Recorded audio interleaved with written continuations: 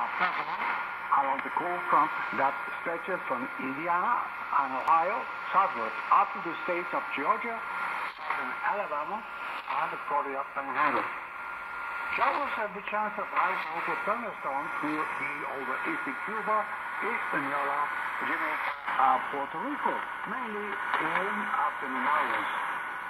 High temperature will be 1 degree Celsius, 34 Fahrenheit in Calgary, 15 degrees in Toronto, 59 Fahrenheit, and 16 degrees, 61 Fahrenheit in Montreal.